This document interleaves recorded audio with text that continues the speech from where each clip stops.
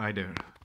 I'd like to show you this uh, project I built, which is a Peltier cooled cloud chamber. So up here I have a small sample of a mineral called pitchblende, which contains uranium oxide. And now I will soak this here with isopropanol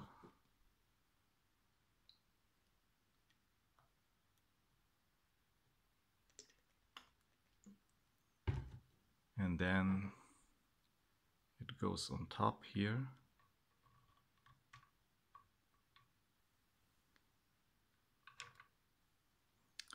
And then the glass bowl goes on top to seal it.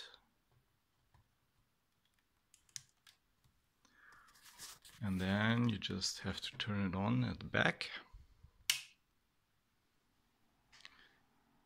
So now what it's doing, it's, it will cool down this uh, copper plate here to about minus 35 degrees. And the alcohol, which is evaporating from the sponge at the top, will start to condense at the bottom. And then it takes a few minutes and then you will see the tracks from radioactive particles emitted from the sample because the alcohol vapor will start to condense along the ionization tracks left by the particles. So this takes a few minutes until it gets down to the temperature. And if I zoom in, should see um, the alcohol vapor starting to condense above the copper plate.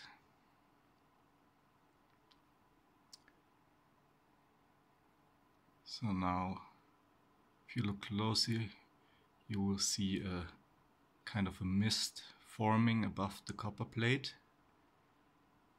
and then soon tracks should start to appear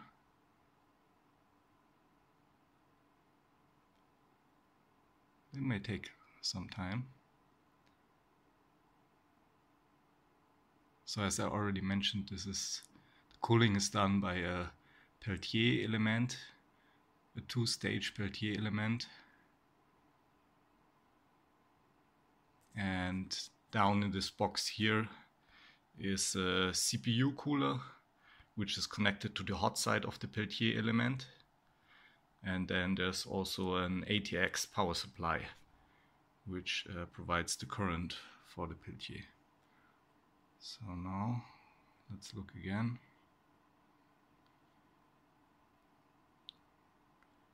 Still no tracks.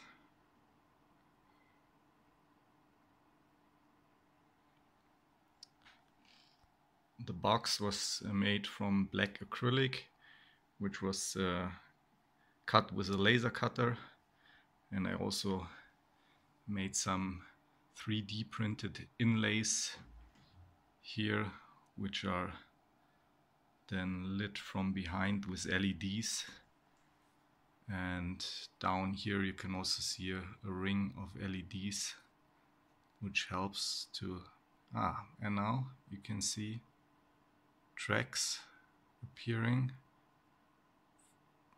being emitted from the sample